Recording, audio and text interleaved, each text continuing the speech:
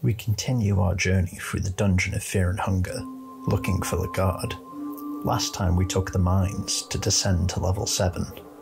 Instead of going through the mines this time, like an idiot casual, let's instead enter the book passage.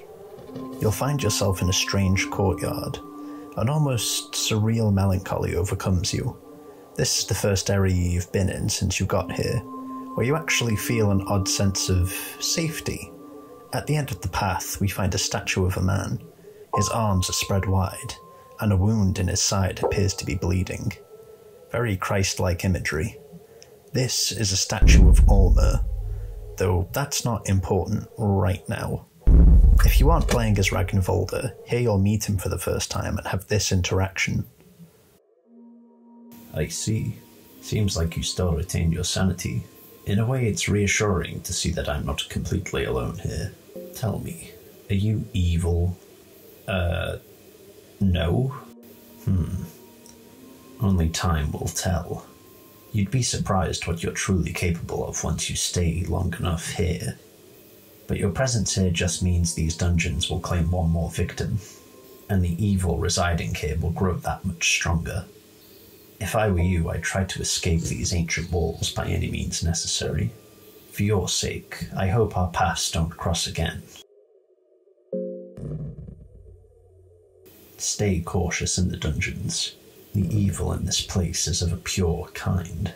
It's not here just to torment us. It's not here to spread its roots into the surrounding world, even if the dungeon's vile traps and decrepit monsters would lead you to believe otherwise.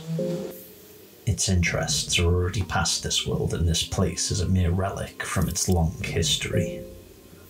You seem familiar with this evil. Ya, yes, my kind, the northern people of Oldegard. We found the dark continents of Vinland from the far reaches of the west.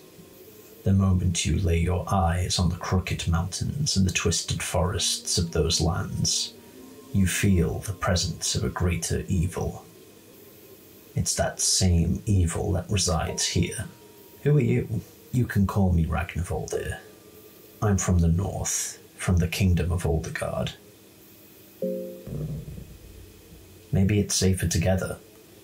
No doubt it would be for you, but for the time being, I won't be traveling with you.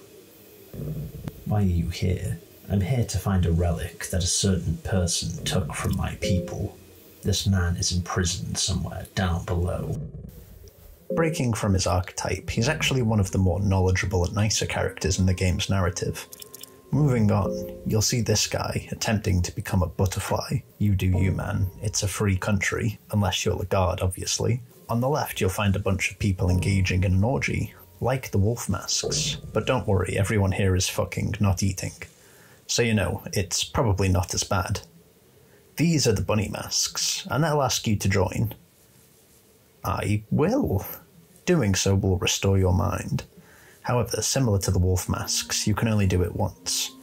Doing it again will prompt a coin toss, that if you fail will mean your character is locked in the cycle of doing this forever, effectively ending your run.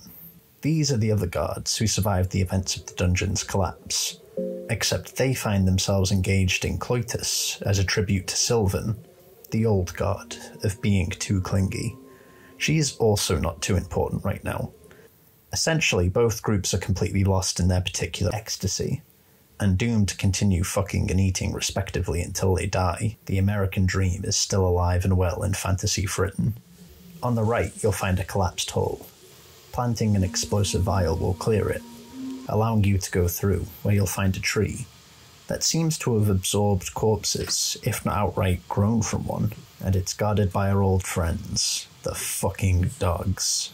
If you have D'arce and Ragnvaldr in your party, you can talk to them, and Rags will tell D'arce about the story of the Maiden of the Depths.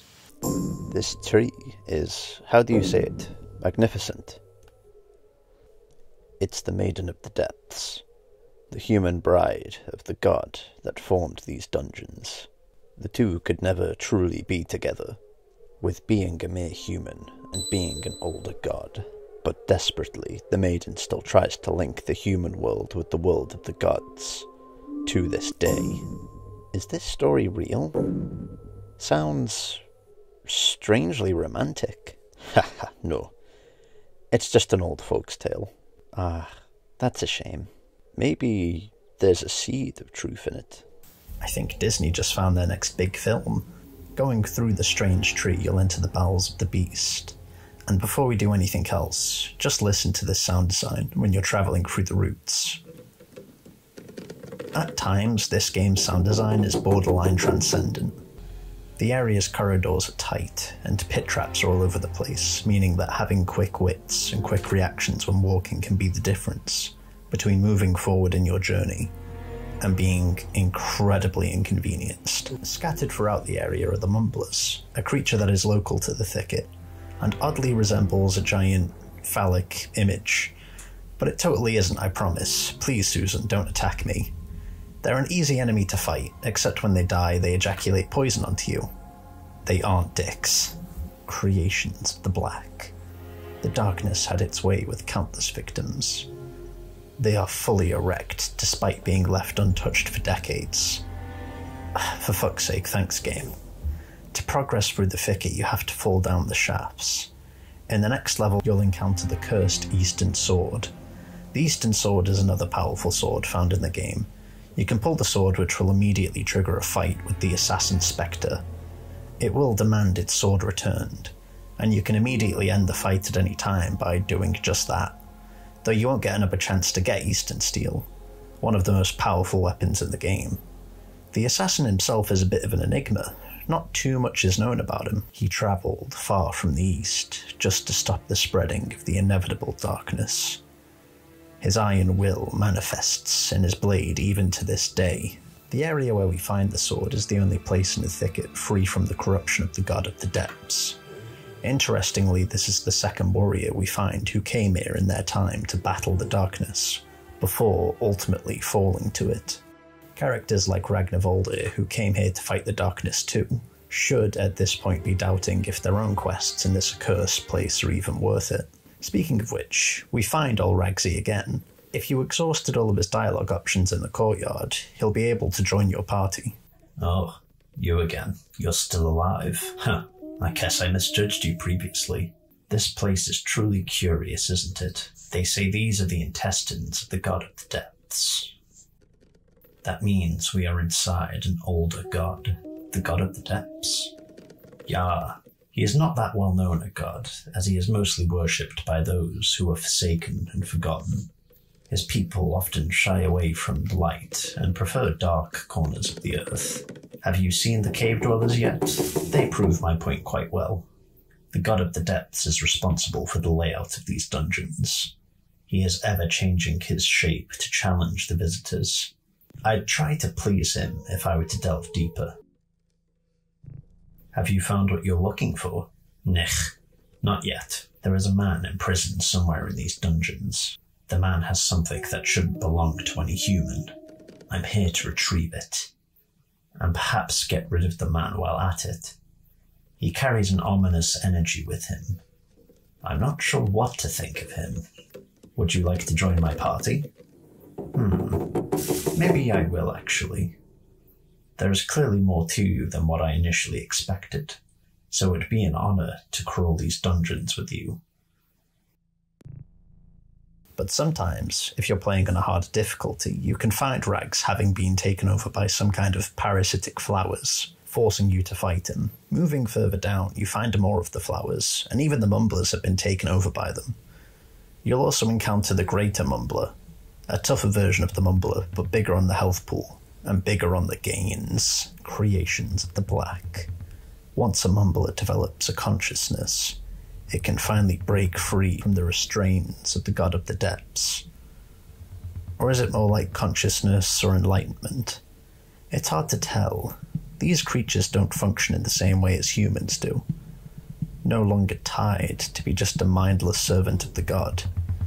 No one knows their true ambitions, on this level of the thicket, you'll find a strange, giant heart. Its rhythmic pacing and impossibility fills you with an unrelenting dread.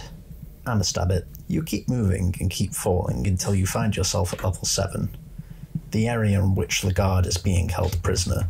Finally, we made it. Now, I'd be remiss if I didn't tell you about what Enki can do in the thicket. If you have mastery over insects, you can hear them whispering in the walls. Following it, we find ourselves passing through tight corridors and evading the singing mumblers. Following the directions of the insect's whisperings will lead you to a room where you'll find a throne, and sat atop it, a giant cockroach. Well, we've seen weirder things thus far. He'll give you a quest to kill the butterfly man. After this, if you aren't playing as Enki, he'll give you a quest to kill Enki as well. The Cockroach King himself, itself, is a follower of the God of the Depths, and its mission against the Butterfly Man and Enki seems to be politically motivated. The Butterfly Man is seeking the D-Man's favour to finish his transformation, and the Black Priests are monotheists, worshipping every god. So Enki was also likely seeking that same favour, and based on his dialogue, Mr. Cockroach is the egotistical, jealous type. Greetings.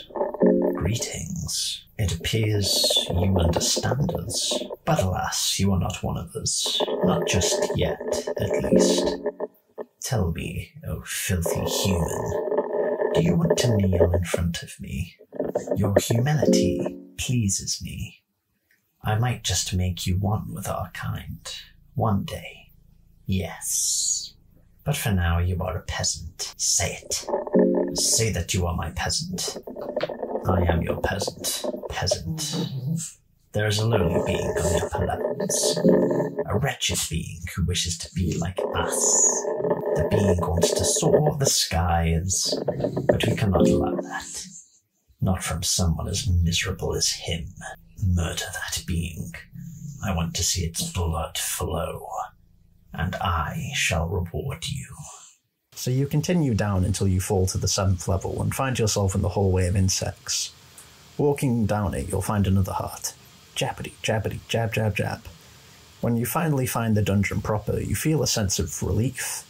Thank God, normalcy.